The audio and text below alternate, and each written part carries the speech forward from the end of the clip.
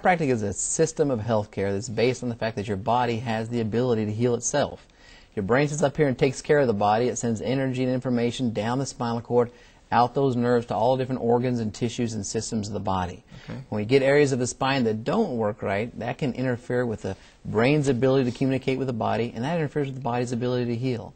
What chiropractic does is find those areas that aren't functioning correctly, restores them to normal function, so the body can have its best ability to heal that it can. Okay, now you know you brought a spine with you. Want to show us on the spine kind of exactly how that works? Sure. This is a model of your spine here.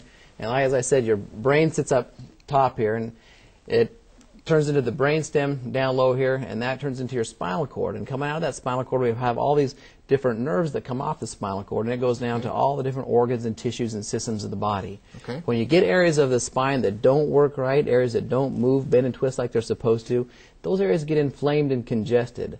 When they get inflamed, it can irritate these nerve roots, and that interferes with the communication between the brain and the body. Okay, so now once you've found out where those areas are that aren't moving properly, how do you fix that? How do you move them back in place or whatever you do? Explain that. Well, we do it by hand. We use real gentle force. We get in there, and it's what we would call the chiropractic adjustment. We adjust those joints to start restoring normal motion and position to those joints so they can once again function like they're supposed to.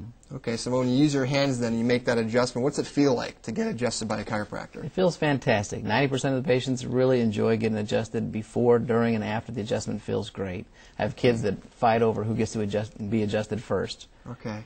Now I know in your office you really focus on not only getting people out of their pain, but you also focus on correcting the cause of the problem. So why don't you explain to us the difference between those two and why that's so important in your office? Well, I like to use the analogy of the house with a leaky roof. If you've ever been in a house with a leaky roof, as long as the sun shines, everything's fantastic. Okay. Then the rainstorm comes, the rain leaks through the roof, and it lands all over the brand new furniture you just bought, and now you got a big problem. You got a big Okay. problem because now it's giving you symptoms. The first thing we have to do is get rid of the symptoms, and we call that relief care.